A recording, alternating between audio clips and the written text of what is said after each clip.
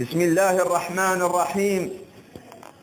الحمد لله خالق كل شيء ورازق كل حي. هدى من شاء من عباده بفضله وأضل من شاء بعدله.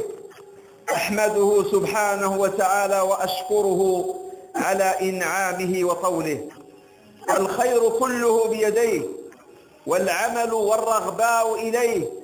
وأشهد أن لا إله إلا الله وحده لا شريك له سميع لمن يناديه وقريب ممن يناجيه. وأشهد أن سيدنا ونبينا محمدا عبد الله ورسوله. أرجح البرية إيمانا وأثقلهم ميزانا وأبلغهم حجة وبرهانا. صلى الله وسلم وبارك عليه وعلى آله الطاهرين تطهيرا وأصحابه المعظمين توقيرا والتابعين ومن تبعهم بإحسان وسلم تسليما كثيرا. أما بعد أيها الإخوة الكرام المغاربة اليوم كيحيي واحد اليوم ما يسمى باليوم الوطني للمرأة. التفاتة لهذه المرأة وكيديروا لها واحد التكريم ويعتنون بها. ومن أجل ذلك إن شاء الله بعد مناسبة خصصنا هذا الموضوع لكي نتحدث عن هذه المرأة ونتساءل ماذا يريدون من المرأة. أيها الإخوة الكرام لم تعرف البشرية دينا ولا حضارة. عنيت بالمرأة أجمل عناية وأتم رعاية وأكمل اهتمام كالإسلام. تحدث عن المرأة. وأكد عن مكانتها وعظم منزلتها.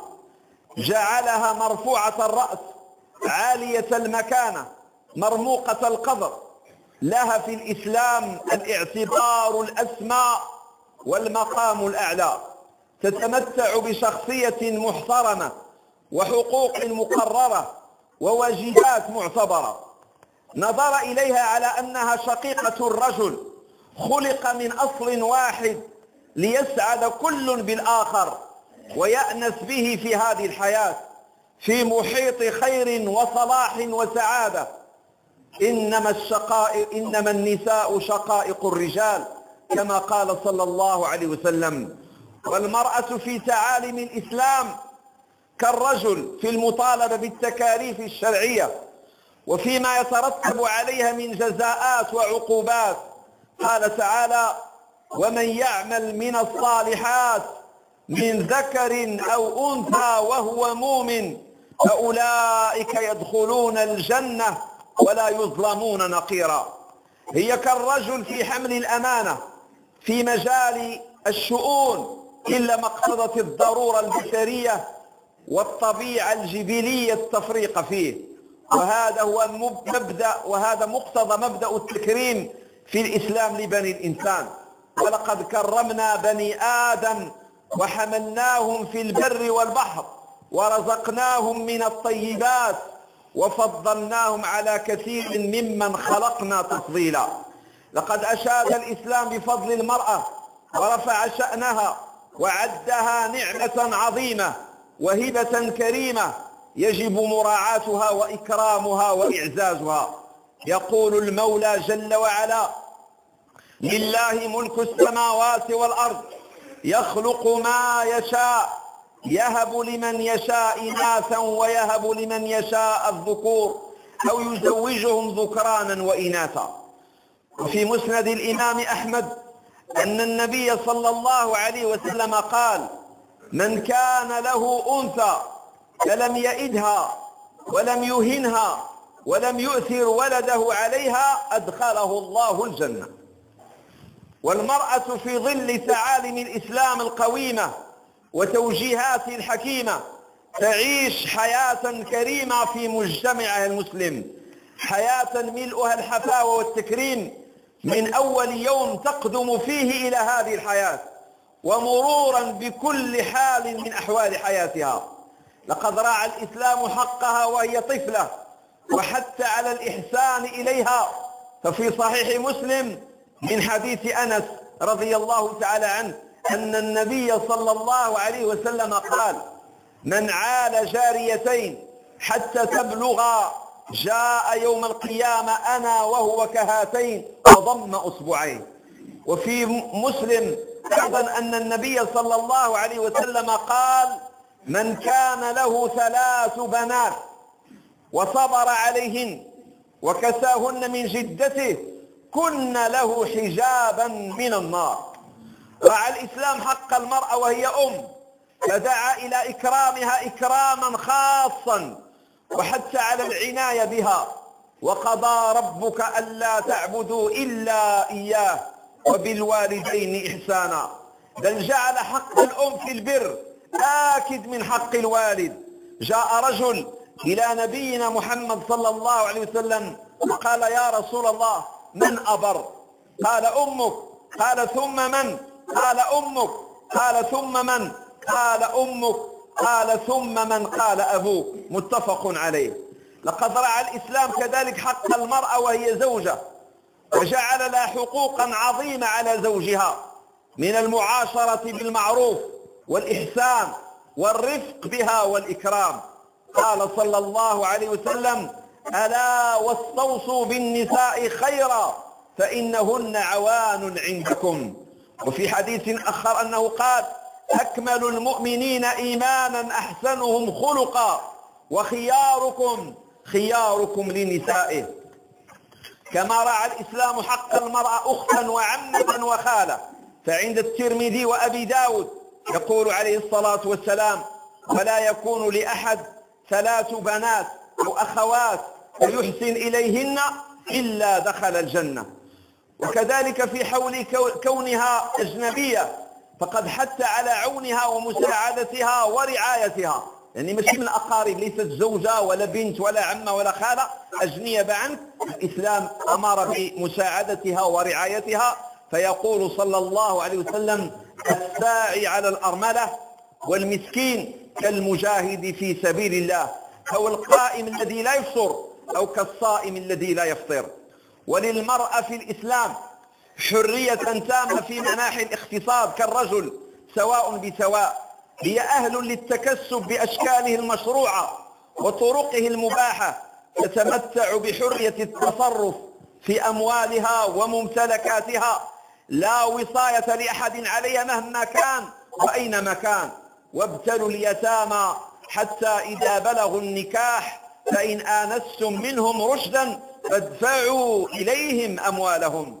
بل إن الإسلام يفرض للمرأة من حيث هي ما يسمى بمبدأ الأمن الاقتصادي مما لم يسبق له مثيل ولا يجاريه بديل. حينما كفل للمرأة النفقة وهي أما أو بنتا أو أختا أو زوجة وحتى أجنبية لتتفرغ لرسالتها الأسماء. وهي فارغة البال من هموم العيش ونصب الكدح والتكسب. هذه إخوة الكرام بعض مظاهر التكريم للمرأة في الإسلام وذلك غيض من فيض وقطرة من ضحى. وعلى الرغم من أن الإسلام احترم المرأة وأعلى مكانتها وأعطاها من الحقوق ما يليق بخلقتها وقدرتها لكن لكن نجد أعداء الإسلام لا يروق لهم وضع المرأة في الإسلام. فهم لما علموا وأيقنوا أنهم لن يستطيعوا ضرب الإسلام وتقويض حصونه من الداخل إلا بإخراج المرأة من بيتها بل إخراجها عن طبيعتها وأصل خلقتها. أرادوها أن تزاحم الرجل في كل ميادين الحياة ولا بد فلا بد أن تزاحم الرجل في تجارته وفي عمله. وفي صناعته وفي وظيفته وما كان لهؤلاء الحاقدين أن يدخلوا على الناس في بيوتهم ويخرج بناتهم ونسائهم ولكنهم بمخططهم الماكر افتعلوا قضية أسموها تحرير المرأة. ليوحوا للمرأة أن لها قضية تحتاج إلى نقاش وتستدعي الانتصار لها أو الدفاع عن حقها المسلوب. ولذلك نجدهم يكثرون الطنطنة في وسائل كثيرة ومختلفة على هذا الوتر بل المرأة في مجتمعاتنا تعاني ما تعاني. يقولون أنها مظلومة وأنها شق معطل ورئة مهملة ولا تنال حقوقها كاملة وإن الرجل قد استأثر دونها بكل شيء. وهكذا ليشعر الناس بوجود قضية للمرأة في مجتمعنا هي عند التأمل لا وجود لها. يقال لهؤلاء أي, حر أي حرية للمرأة تريدون؟ أتريدونها أن تكون ألعوبة في يد القاصي والداني؟ أم تريدونها أن تكون ورقة مذولة تطأها الأقدام وتمزقها الأيادي؟ بل بعد أن كانت جوهر مصونة لا يكاد يرى أحد منها شيء من غير محارمها إلا بعقد صحيح. فلا يخفى أيها الإخوة الكرام على كل من له معرفة ما عمت به البلوى في كثير من البلدان من تبرج الكثير من النساء وصفورهن وعدم تحجبهن من الرجال وإبداء الكثير من زينتهن التي حرم الله عليهن إبداءها ويترتب على التبرج والصفور ظهور الفواحش وارتكاب الجرائم وقلة الحياء وعموم الفساد. فاتقوا الله أيها المسلمون وامنعوا نساءكم مما حرم الله عليهن وألزموهن التحجب والتستر. واحذروا غضب الله وعظيم عقوبته. وقد صح عن النبي عليه الصلاة والسلام أن الناس إذا رأوا المنكر فلم يغيروه أوشك أن يعمهم الله بعقابه. أقول ما تسمعون وأستغفر الله لي ولكم ولسائر المسلمين. وآخر دعوانا أن الحمد لله رب العالمين.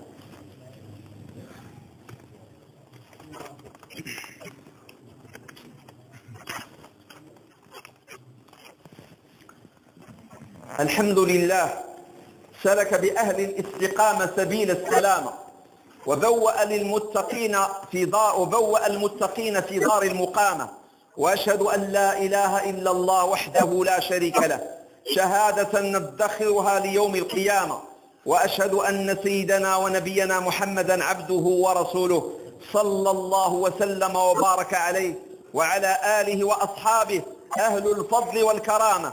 والتابعين ومن تبعهم بإحسان إلى يوم الدين. وبعد اخوتي الكرام ماذا يريدون من المرأة؟ داروا لي واحد العام يوم عالمي ما يسمى يوم العالمي للمرأة وفي المغرب عندنا جعلوا له يوم وطني احتفاء بهذه المرأة. طبيعة الحال إحنا مسلمين ومجتمع مسلم فنلتفت إلى هذه المرأة ونعتني بها. لأنها نصف المجتمع. المرأة إذا تصلحات كتصلح البيوت ويصلحوا الأبناء ويصلحوا الأزواج تساهم في الإصلاح. والعكس إلى هذه المرأة هضمت حقوقها وأهينت وخرجت صبحت بضاعة وأصبحت فتنة على الرجال يقع الفساد في هذا المجتمع. إنهم بدعوة تحرير المرأة وحقوق المرأة يريدونها أن تتخلى عن أنوثتها الطاهرة وتصبح ألعوبة لشهواتهم إنهم يريدونها أن تتمرد على حجابها. ولينا الآن كنشوف واحد النوع من الحجاب. حجاب متبرج. دايرة فولار في راسها ولابسه جين. كيبين يصف العورة ديالها ويصف الشكل ديالها. هذا ما هو حجابات يعني يريدونها أن تتمرد على حجابها وتنتكس في حمأة الجاهلية ومستنقعاتها الآسنة استغلت فتاتان إيرانيتان مقيمتان في العاصمة السويدية مناسبة اليوم العالمي للمرأة. هذه هذه الجوج فتاتان تعريتا في أحد الشوارع الرئيسية في العاصمة عشية الاحتفالات الدولية بالمرأة. وكتبت على صدرهما عبارة لا للحجاب لا للحجاب إنهم يريدون إلغاء دور الأسرة. ومسخ الهوية الاجتماعية للأمة وإشاعة روح الانحلال والفساد. إنهم يريدون استنساخ المرأة الغربية. المرأة الغربية هذه ضاعت في كرامتها. ولات كتعرض في الفيترينات. المرأة الغربية كيديروا السلعة لقضاء شهواتهم ونزواتهم. فهؤلاء أرادوا يريدون يديروا واحد نسخة. المرأة المسلمة المرأة العربية تكون شبيهة للمرأة الغربية. لتنتشر ثقافة الإذ والعري والشذوذ الجنسي. والله عز وجل قد كرم المرأة وشرفها. فلن تجد المرأة من يرعاها ويحفظ لها حقوقها كما تجد ذلك في الإسلام. الإسلام أكرم المرأة أيما إكرام. وشفنا في الخطبة الأولى كيفاش اعتنى بها وهي بنت وهي زوجة وهي أم وهي أخت. فيا بغاة الشر أقصروا يا دعاة تحرير المرأة اخسأوا يا أبواق الرذيلة ودعاة الشهوات لا تنطقوا. يجب أن يعلم أن فساد أي مجتمع إنما يبدأ بإفساد المرأة. الفساد ديال أي مجتمع. إذا بغوا يفسدوه كيجيو من المرأة. المرأة إذا فسدت المجتمع فسد. لو تأملنا في التاريخ لوجدنا أن أول ما دخل الفساد على أي أمة فإنما هو من باب الفتنة بالنساء. وقد ثبت عن النبي صلى الله عليه وسلم قوله ما تركت بعدي فتنة أضر على الرجال من النساء. أضر فتنة. لما تخرج متهتكة وتفتن الشباب ولا تزور ديال الدعارة وتصبح يعني المرأة أصبحت مهانة حتى في العمل ديالها. الإسلام لا يمنع المرأة من العمل. ولكن ملي كنشوفوا ذاك الأفواج اللي كيمشيو الصباح المعامل أي كرامة لهذه المرأة؟ كتنوض بكري وتمشي للعمل. والأجرة ضئيلة شحال كتشد في هذه الأجرة؟ مهضومة حتى من الحقوق ديالها. وتلقاها متزوجة وترجع في المساء. وخصها عاوتاني تنظف البيت ديالها وتوجد الطعام وكتخلي ولادها. المشكل اللي كانوا عندها ولادها وهي خدامة. لما كتخلي ولادها؟ كتخليهم الخادمات. تخليهم يعني أي تربية أي دور في هذا المجتمع للمرأة إذا لم تخرج لنا أبناء صالحين ورجال ويقول عليه الصلاة والسلام اتقوا الدنيا واتقوا النساء فإن أول فتنة فتنة بني إسرائيل كانت في النساء. كما أصبح الإعلام اليوم بجميع ألوانه سلاحا يفسك بالمرأة ويغريها على الفساد خاصة أنه قد بلغ من الإبداع والتأثير قدرا كبيرا جعل من المستحيل مقاومة إغرائه. وقد اعتمد هذا الإعلام في معظم برامجه الفنية والإعلانية اعتمادا محوريا على مظهر المرأة ومفاتنها بغاو يديروا شي إشهار شي بضاعه دائما كتبقى المرأة في الواجهه سواء أكان في التلفاز أو الإذاعة أو الصحف والمجلات أو الإنترنت مؤخرا. ولا شك أيها الإخوة الكرام أن الانحراف الخطير الذي تردد فيه المرأة قد أصبح ظاهرة واضحة في المجتمع. تشهد عليه تلك الآثار المستشرية في كافة مناحي الحياة الاجتماعية والثقافية والاقتصادية فضلا عن خروج عن مبادئ الدين الصحيح وتعاليمه الأخلاقية والإيمانية. عباد الله إن نتيجة رفع الحجاب وإطلاق حرية المرأة الحرية المطلقة حتى ولينا كنسمعوا المرأة كتخرج وكتنادي بالحرية ديال الجسم ديالها كتقول هذا جسدي. جسمي حريتي أفعل به ما أشاء. يعني ما المفهوم من هذا هذا الشعار اللي كيرفعوه؟ أنهم كيخرجوا يريدون الحرية الفرديه أن المرأة تتمتع بجسمها كما تريد.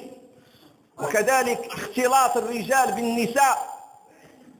هذا كله أعطانا واحد النتيجة ظهور الفاحشة. وهو بين لا يحتاج إلى دليل واضح في مجتمعنا. وليتي الآن كتشوف شاب وشابه في طريق عام في السيارات وفي الناس وشادهم عنقها يقبلها أمام الملأ. يعني هذه ظهور شنو هذه؟ فاحشه ظهرت ظهرت في المجتمع. من من من القبلة راه كاين زينة بطبيعة الحال. لأن الزنا البداية ديالو باش كتبدا؟ بالنظره نظرة ها؟ فابتسامة. فسلام فموعد فلقاء. ها هي الفاحشة وهي الزنا بدات كتنتشر حتى ولينا كنسمعوا واش هذه المرأة هذه مكرمة عندما نسمع ما ما, ما يطلق عليه الأمهات العازبات الأمهات العازبات الأم العازبة. يعني وقعت في زنا ووقع على حمل. حملت من ذاك الزنا. ما ذنب هذاك الجنين؟ لا ذنب له. الإسلام كيرعاه. وخزنت به وحمل به الإسلام أكرم ذلك الجنين ولكن هي ارتكبت جريمة الزنا تستحق عليها العقوبة ولينا نسمعوها الظاهرة ديال المرأة العازبة. وانتشرت بواحد الشكل كبير. إذا قلنا ظهور نتيجة ديال بعد المرأة عن تعاليم الإسلام وعن الحشمة واختلاط ديالها بالرجال والنساء أدى ذلك إلى ظهور الفاحشة. إن المتأمل لحال المتتبعين للشهوات اليوم لا يأخذه العجب والحير من أمرهم. فما لهم وللمرأة المسلمة التي تقر في منزلها توفر السكن لزوجها وترعى أولادها. ماذا عليهم لو تركوها في هذا الحصن الحصين؟ تؤدي دورها الذي يناسب أنوثتها وطبيعتها. ماذا يريدون من عمل هذا؟ وأي شيء جنت من عمل هذا المرأة كثير من الآن والله ضائعة علاش لأن ضيعت أولادها وضيعت البيت ديالها. عباد الله لقد أمر الله المؤمنات بالحشمة. قال تعالى يا أيها النبي قل لأزواجك وبناتك ونساء المؤمنين يدنين عليهن من جلابيبهن. وأمرهن بالقرار في بيوتهن فقال وقرن في بيوتكن ولا تبرجن تبرج الجاهلية الأولى. عباد الله إن لصلاح المرأة واستقامتها لها أثر بالغ على صلاح الأسرة. فهي الأم المربية فهي الأم المربية والشباب والفتيات إنما ينشؤون في أحضانها. فلا غنى لنا حين نريد تكوين أسرة المسلمة عن الاعتناء بدعوة المرأة وإصلاحها. إن النساء المنحرفات محضا لكل فساد. وقدوة سيئة لأبنائهن في كل نواحي الحياة وفي كل أعمارهن منذ طفولتهن. فهم لا يكتسبون منهن إلا القيم الفاسدة والعادات السيدة. إن فساد المرأة هو فساد للأسرة وللمجتمع بإصره. لما له من أثر عميق على الناشئة والشباب. ولعل أبرز ما نراه اليوم هو التخطيط هو هذا التخطيط المرسوم بدقة والذي أخذ طريقه إلى المدارس والجامعات وأدى إلى تغريب المرأة وابتعادها عن دينها.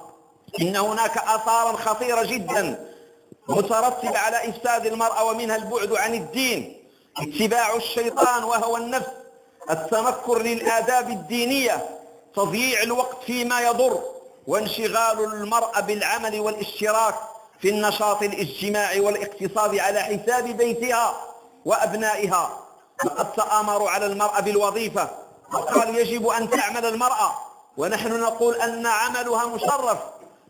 إن عمل المرأة بالصورة التي ينادون بها له من المفاسد الشيء الكثير من إهمال الأسرة وتمزيق أركانها وتضييع النشء وإفساد الأولاد وكثرة حالات الطلاق. حالات الطلاق ارتفعت بشكل مهول وكثرة حالات العنوسة. المرأة الآن المجتمع ديالنا الظاهرة ديال العنوسة واصلين 30 عام 40 عام حتى واحد ما كيسول عليهم. أي إكرام لهذه المرأة التي لم تجد زوجا يأويها أو بيت. وتحديد النسل. إذ إن المرأة العاملة تضطر لإيقاف الإنجاب مراعاة للوظيفة. كتولد يلاه ولد واحد وكتحبس. كنحدوا النسل ديالنا. وتضييق على الرجل في الحصول على الوظيفة. وكنلقاو البطالة في صفوف الشباب وفي صفوف الرجال أكثر. علاش؟ لأن المرأة نافست الرجل في الوظيفة وهذا نشاهده ومشهود وملموس. بل الواقع يشير إلى بداية ظهور البطالة في المجتمع في أوساط الرجال. والرجل مطالب بالعمل لكونه مطالب بالنفقة على المرأة. والإسلام أباح للمرأة أن تعمل إذا ألجأتها الضرورات الاجتماعية إلى العمل. لا أن يكون هذا نظاما عاما وعليها حينئذ أن تراعي الشروط التي وضعها الإسلام لإبعاد فتنة المرأة عن الرجل وفتنة الرجل عن المرأة. أسأل الله عز وجل أن يجنب بلدنا الفتن ما ظهر منها وما بطن وأن يعز دينه ويعلي كلمته وأن يرد كيد المفسدين في نحورهم. فاتقوا الله رحمكم الله واستقيموا إلى ربكم واستغفروه ثم صلوا وسلموا على الرحمة المهداة والنعمة المسداة. نبيكم محمد رسول الله. وقد أمركم الله بذلك. فقال عز وجل إن الله وملائكته يصلون على النبي. يا أيها الذين آمنوا صلوا عليه وسلموا تسليما. اللهم صل على سيدنا محمد وعلى آل سيدنا محمد كما صليت على سيدنا إبراهيم. وعلى آل سيدنا إبراهيم وبارك على سيدنا محمد وعلى آل سيدنا محمد كما باركت على سيدنا إبراهيم وعلى آل سيدنا إبراهيم في العالمين إنك حميد مجيد. وارض اللهم عن الخلفاء الأربع أبي بكر وعمر وعثمان وعلي وعن الصحابة أجمعين وعلى التابعين لهم بإحسان إلى يوم الدين. اللهم انفعنا بمحبتهم ولا تخالف بنا عن نهجهم يا خير مسؤول. اللهم وفق عبدك محمد السادس لما تحب وترضى. اللهم احفظ به البلاد واقض على يديه مصلحة العباد واجعله ضدا على الفساد. اللهم وفقه للخير وأعن عليه وقيد له بطانة صالحة للحق آمرة وللباطل ناهية. اللهم أري الحق حقا وارزق اتباعه وأري الباطل باطلا وارزقه اجتنابه. اللهم واحفظه في ولي عهده. اللهم وحد كلمة المسلمين وقادة في مشارق الأرض ومغاربها إلى ما فيه الصلاح والفلاح. اللهم ردهم إلى كتابك وإلى سنة نبيك ونهج أسلاف هذه الأمة. اللهم اصلح أحوالنا واختم بالصالحات أعمالنا. اللهم بارك لنا في أرزاقنا وسدد خطانا على الخير. اللهم اجعل هذا البلد آمنا مطمئنا. وسائر بلاد المسلمين. اللهم لا تجعل فينا ولا منا ولا معنا شقيا ولا محروما. اللهم فرج الهم عن المهمومين واكشف الكرب عن المكروبين وأد الدين عن المدينين واشف مرضى المسلمين. اللهم إنا نسألك لنسائنا وبناتنا الصلاح. اللهم ردهن إلى دينك ردا جميلا. اللهم أعنهم يا رب على ذكرك وشكرك وحسن عبادتك. اللهم ارزقهم الستر والحشمة يا رب العالمين. اللهم جنب بلدنا الفواحش ما ظهر منها وما بطن. برحمتك يا أرحم الراحمين يا رب العالمين. وصل اللهم وسلم وبارك على سيدنا ونبينا محمد وعلى آله وصحبه وسلم تسليما. سبحان ربك رب العزة عما يصفون وسلام على المرسلين والحمد لله رب العالمين. وقوموا إلى صلاتكم يرحمكم الله وأقم الصلاة. الله أكبر الله أكبر أشهد أن لا إله إلا الله. أشهد أن محمدا رسول الله. حي على الصلاة حي على الفلاح قد قامت الصلاة. الله أكبر الله أكبر. لا إله إلا الله. استووا تراصوا يعتدلوا يرحمكم الله. حاذوا بين المناكب سدوا الفرج لينوا بين أيدي إخوانكم واخشعوا في صلاتكم يرحمكم الله.